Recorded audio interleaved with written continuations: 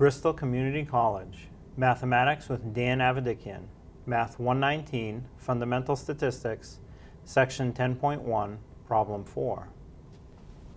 This is Section 10.1, Problem number 4. It says, Teresa teacher has traditionally seen an average of 76 for her Math 119 class. She feels that if she uses open educational resources for the class, the class average will increase.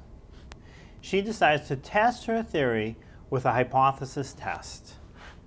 So what is the null hypothesis? So the null hypothesis, the symbol is capital H for hypothesis, subscript of 0 for null hypothesis, put a colon, and it's that the population average, the symbol is mu, is equal to 76. So that's the null hypothesis, that the population average is 76. What's the alternate hypothesis? So the symbol is capital H with a subscript of 1. Again, you put a colon. Still going to have mu for population average. You'll still have 76. But we're testing to see if the average has increased, that it's better than 76 because of the new method of teaching it. So you want to test to see if the average is greater than 76 for the alternate hypothesis.